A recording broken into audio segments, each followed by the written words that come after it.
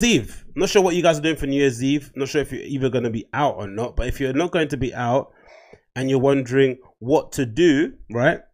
Maybe this is the time to think about going to World Unknown. Uh, World Unknown are throwing a New Year's Eve party. If you're not familiar with World Unknown, I think I spoke about them beforehand. They're a little London collective, a UK collective, who put together some really cool um, events and nights in London. I've been to a couple before.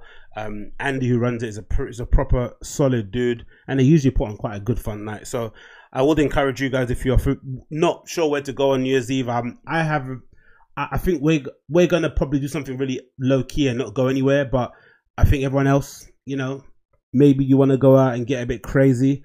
And I would advise if you're gonna spend your money to go out to a nightclub, do it with people who actually put on good events and actually make uh, the New Year's Eve parties a bit special. Because the worst thing that you could do for New Year's Eve, especially if you don't want to go out, is giving your money to people who are essentially doing it for the cash grab. Because imagine people like to complain about promotion is really difficult to do a night.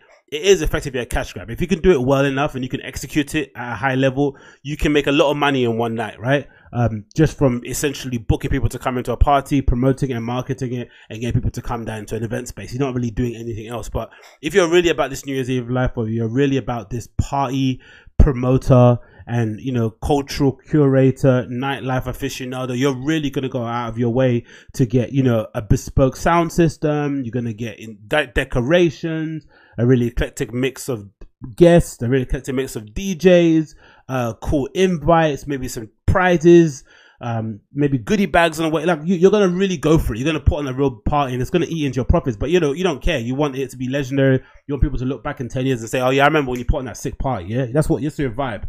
So I think if you want that kind of vibe and you're for that, definitely put your money and your trust in World Unknown. This is a fly I've got up here on the screen. World Unknown New Year's Eve, 31st December 2019. The text here is the following. Um, we've got 50, 10, 50 10 pound tickets for World Unknown New Year's Eve left. They'll be definitely gone by Friday at latest, so possibly before. And after that, they'll go up to 15 and then 20.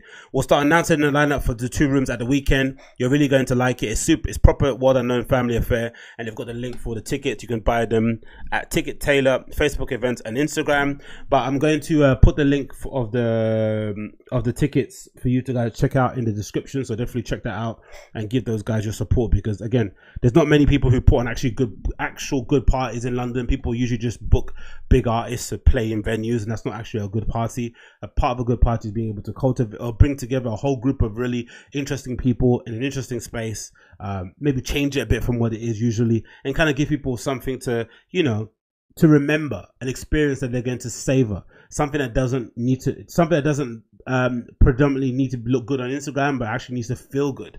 And that's something you don't really get too often in these kind of spaces. So definitely check it out if you're that way inclined. Um, one of my favorite nights out there and again really solid people behind it. So definitely check them out and give them your